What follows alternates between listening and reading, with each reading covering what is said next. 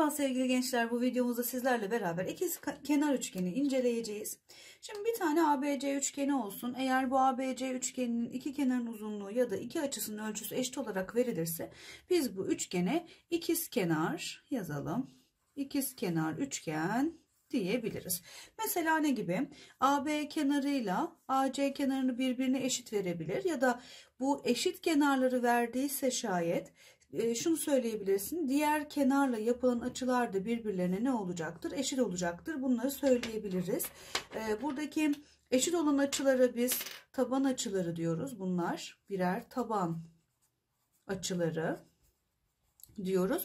Şu tepede gördüğümüz açıya da tepe açısı diyoruz. Tamam mı? Yani ikizkenar üçgende e, eşit olan kenarların diğer kenarla yaptığı açılarda birbirlerine eşit oluyorlar. İkizkenar üçgende çok önemli olarak bilmemiz gereken ifadelerden bir tanesi de şudur.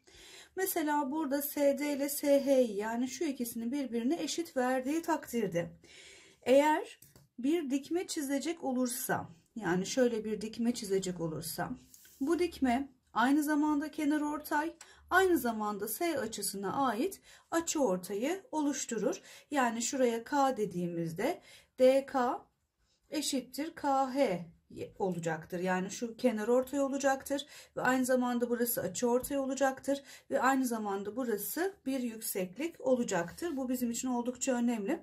Burada mesela şuna dikkat edelim.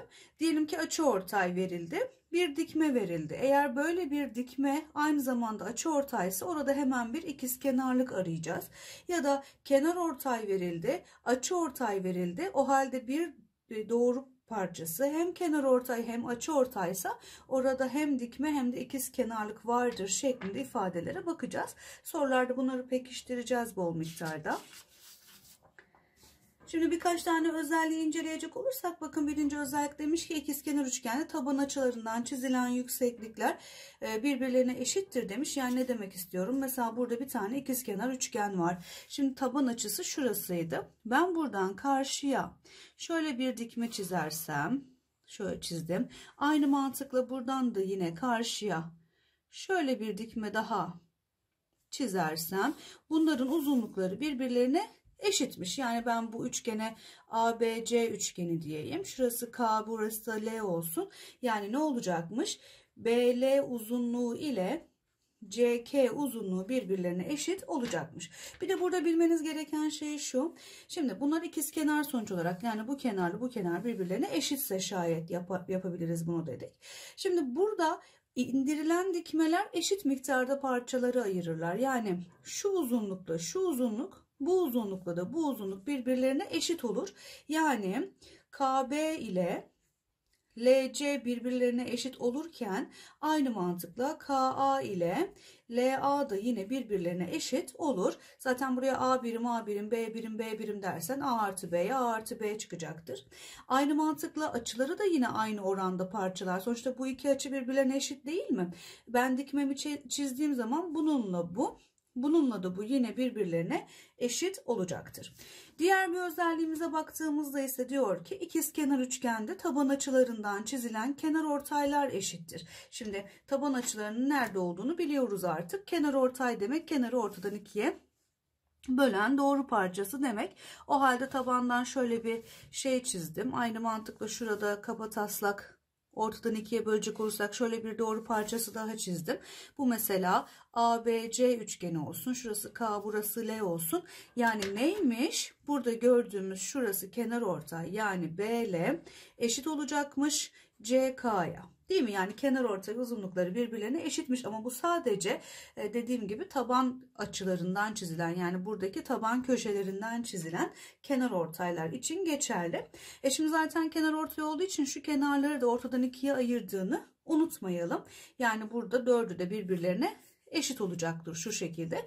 Bir de yine açılarda da aynı mantık var. Aynı oran var. Sonuç olarak buradaki açının tamamıyla buradaki açının tamamı birbirine eşit olduğu için aynı yani bunlar eşit oranlarda. Yani şu açıyla bu açı bu açıyla bu açı yani açı ortaydır demek istemiyorum aynı şekilde burada da yani buradaki açılar ve buradaki açılar birbirlerine eşit olacak. Diğer bir özelliği inceleyecek olursak diyor ki ikizkenar üçgende taban açılardan çizilen açıortaylar eşittir. Diğerleri gibi aynı mantıkla şöyle çizilen bir açıortay bakın şöyle çizdik.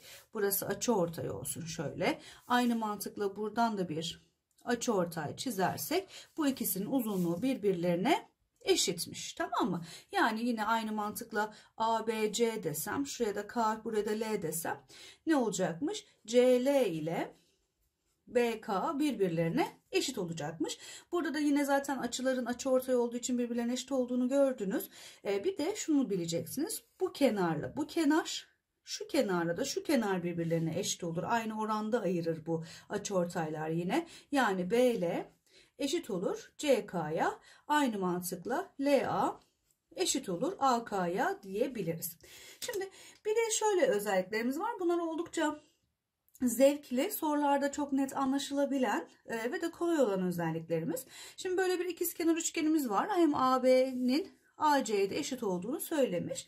Biz eşit olmayan kenarın üzerindeki herhangi bir noktadan, bakın buradan olur, buradan olur, tam ortadan olur, çok köşeden olur vesaire.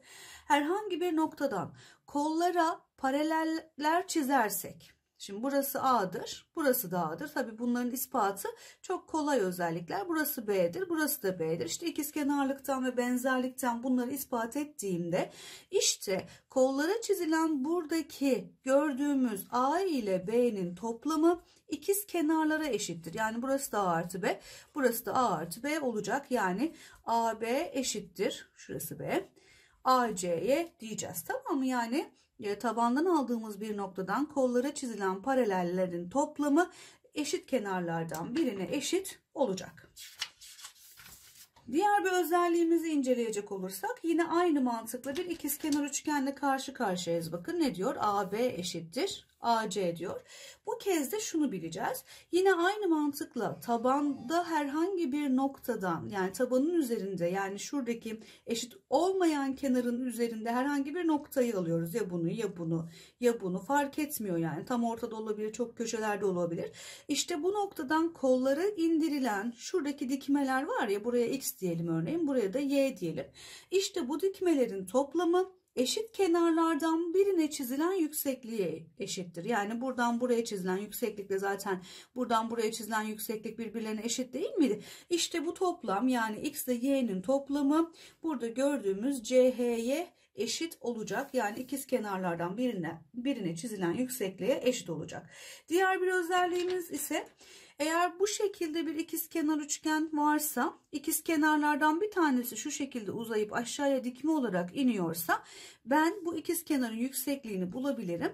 Bunu da LM ile MK'nin toplamının yarısı olarak bulacağız. Yani LM ile diyoruz artı MK'nin yani tamamının toplamının yarısı bana yine yüksekliği verecek. Bu da yine e, çok basit benzer kurallarıyla ispat edilebilen bir özelliğimiz. Şimdi buradaki örneklerimizi bir inceleyelim. Mesela demiş ki burada AB eşittir AC diye buraya da yazmışız.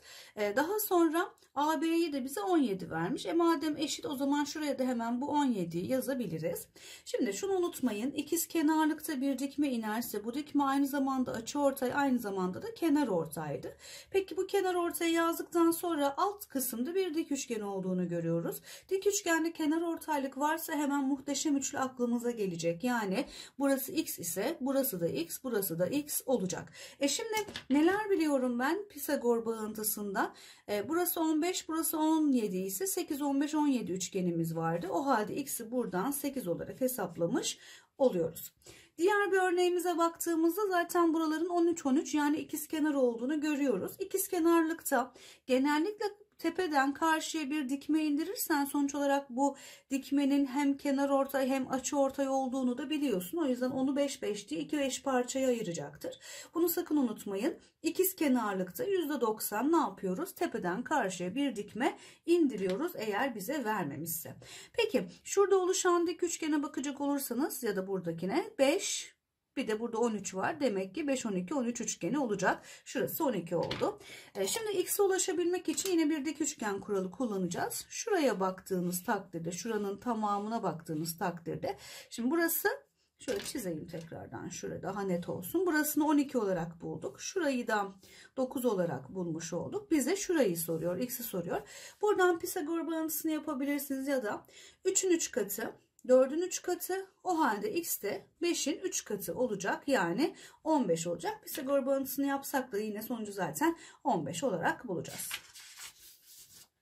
Buradaki iki sorumuza baktığımızda ise diyor ki şimdi A açısı 30 dereceymiş. Bunu hemen buraya yazalım. Şuraya 30 dereceyi yazalım.